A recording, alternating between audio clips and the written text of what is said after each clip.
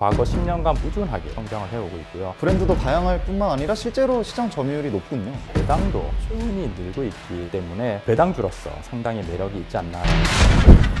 안녕하세요. 전 세계 우량 기업을 소개하는 글로벌 슈퍼스탁 MC 김규준입니다. 안녕하십니까 미래에셋 대우 리서치 센터에서 글로벌 소비재 담당하고 있는 정우창입니다. 반갑습니다. 예 반갑습니다. 오늘 소개해 주실 영역 글로벌 소비재라고 말씀해 주셨는데 장기 주식 투자라는 얘기 많이 들어보셨잖아요. 장기 투자의 투자 기간은 어느 정도로 생각하고 계세요? 그래도 한 1, 2년에서 3년 정도는 되지 않겠습니까? 최근에 개인 투자자들도 정보가 상당히 많이 부족하기 때문에 기관 투자자들하고 단기에서는 싸움하기가 상당히 어렵기 때문에 점점 더 안정적이지만 장기적으로 성장 가능한 주식을 많이 찾는 장기 투자 지금 성향이 굉장히 늘어나고 있는 것 같습니다. 오늘 제가 소개시켜 드리고 싶은 종목은 미국 소비재 회사 P&G라는 회사인데요. 안정적인 이익 성장과 함께 배당주로서 굉장히 많이 가지고 있어서 소개시켜 드리고 싶습니다. 오늘은 글로벌 대표 소비재 제조회사 P&G에 대해 알아보겠습니다.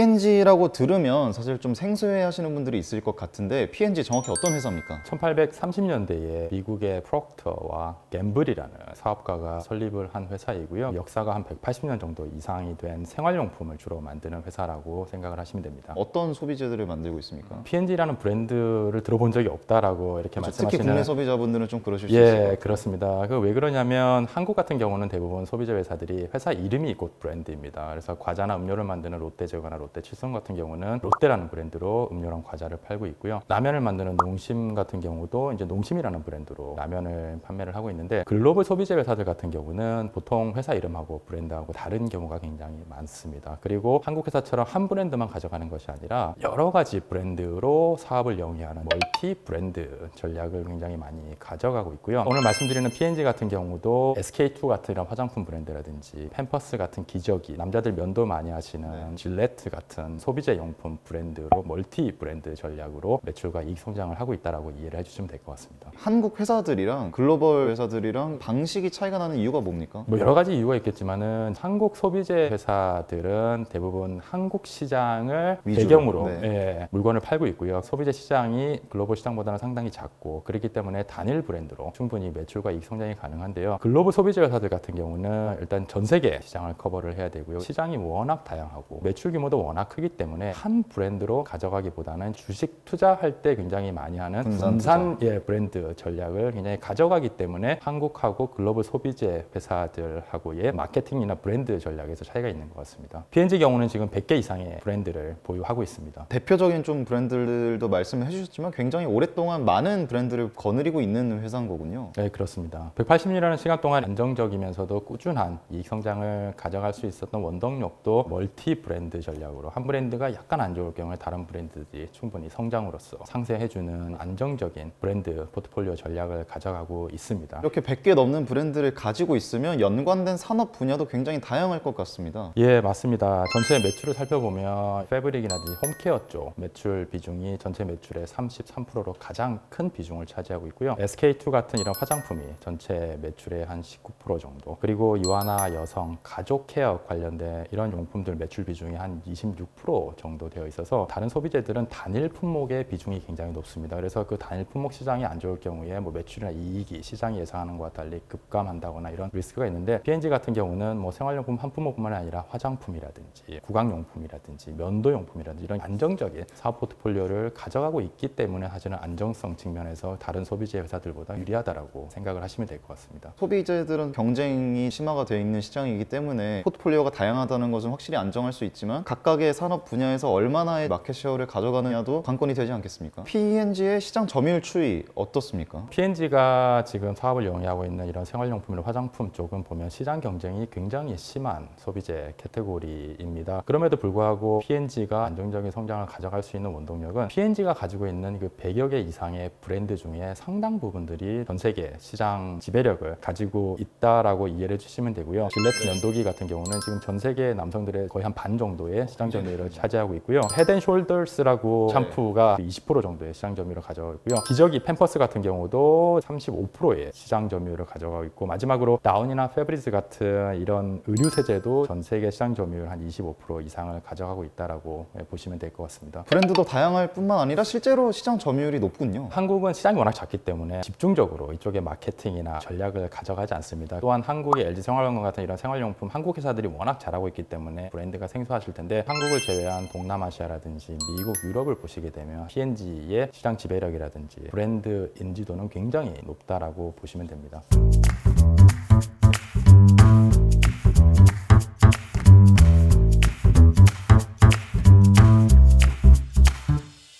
글로벌 영향력이 강한 P&G 투자 포인트 어떤 게 있습니까? 첫 번째로 말씀드리고 싶은 투자 포인트는 안정성입니다. 이미 코로나 때 한번 실적으로 P&G의 안정성을 입증을 했고요. P&G는 필수 소비재 성향이 굉장히 강하기 때문에 금융위기라든지 글로벌 recession이 왔을 경우에도 이익 방어력이 높았고요. 그렇기 때문에 향후에 글로벌 recession을 걱정하는 투자자시라면 문제가 없는 주식이 아닐까라고 생각을 하고 있습니다. P&G의 두 번째 포인트는 안정성을 가지고 있으면서도 성장을 하고 있다라는 점을 강조를 하고 싶습니다. 과거 10년간 꾸준하게 성장을 해오고 있고요. 이익이 성장하면서 배당도 꾸준히 늘고 있기 때문에 P&G 같은 경우는 배당주로서 상당히 매력이 있지 않나라고 생각을 하고 있습니다. 그렇다면 다른 투자 포인트는 어떤 게 있을까요? 마지막으로 말씀드리고 싶은 P&G의 투자 포인트는 중국 럭셔리 화장품 시장의 포지셔닝이 잘 돼 있다는 겁니다. SK2 브랜드가 지금 중국 럭셔리 화장품 시장에서 중국 소비자들에게 굉장히 크게 사랑을 받고 있습니다. P&G 역시 이 중국 럭셔리 화장품 시장의 성장의 과실을 제대로 누릴 수 있다라고 생각을 하고 있기 때문에 만약에 중국 럭셔리 화장품의 비중을 가져가고 싶은 투자자가 계시면 P&G를 사서 가져가셔도 중국 화장품 성장의 수혜를 받을 수 있을 거다라고 생각을 합니다.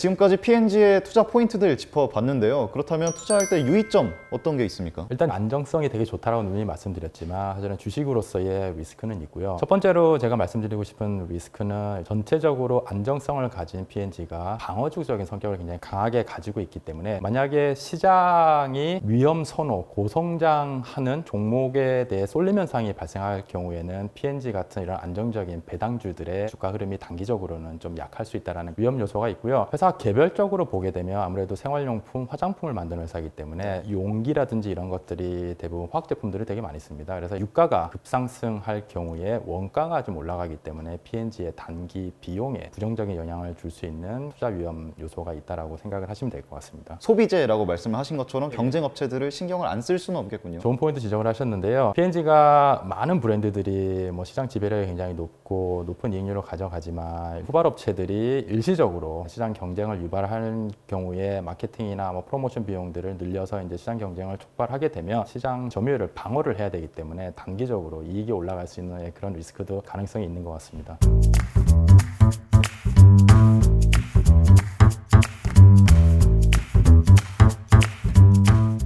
P&G의 3분기 실적이죠. 3분기 실적 현황 그리고 향후 전망 어떻게 보고 계십니까? P&G의 3분기 실적은 올해 1월부터 3월까지의 실적이고요. 코로나 영향을 받기 시작한 분기입니다. 그럼에도 불구하고 P&G 3분기 실적은 작년 3분기 대비해서 10%나 성장을 해줬고요. 전체 매출이 4% 정도, 단기 순이익도 8% 성장을 하면서 전체적으로 시장이 예상하던 이익 성장보다는 굉장히 높은 성장률을 보여줘서 이제 시장에 굉장히 만족감을 준 분기다라고 이해를 하시면 될 것 같습니다. 코로나19 이슈의 영향을 거의 받지 않은 거군요. 예, 그렇다고 볼 수 있고요. 미국이나 유럽의 코로나로 인해서 락다운이 정말 절정기에 이른 4월, 5월 실적들이 P&G의 4분기 실적에 반영이 될 텐데 특별히 코로나 영향이 없는 3분기하고 실적 흐름이 굉장히 비슷하지 않을까라고 생각을 하고 있습니다. 시청자분들을 위해서 한번 정리 부탁드리겠습니다. 안정적이다라는 점을 제가 다시 한번 강조를 해드리고 싶고요. 안정적이지만 성장도 많이 하고 있고 이익 성장을 많이 하면서 배당으로 이어지고 있기 때문에 장기 배당주로 서의 매력도 높다라고 생각을 하고 있습니다. 그리고 최근 중국 럭셔리 화장품 시장 성장성이 좋은데요. P&G도 SK2 화장품이라는 브랜드로 가지고 비중이 있기 때문에 중국 화장품 시장 성장에 수혜 충분히 받을 수 있을 거다라고 생각을 합니다. 투자 유의사항으로는 방어적인 성격을 가진 방어주이기 때문에 시장에서 위험이 높은 고성장을 하는 주식에 대한 쏠림 현상이 있을 경우에 P&G 주가에 단기적으로 약할 수 있다는 그런 게 있고요. 화학 제품들을 원재료로 많이 쓰기 때문에 유가가 올라가거나 아니면 경쟁 업체들이 일시적으로 시장 경쟁을 촉발했을 경우에 P&G도 시장 지배력 방어를 위해서 단기적으로 비용을 쓰면서 이익이 좀 떨어질 수 있는 그런 위험이 있다라고 보시면 될 것 같습니다.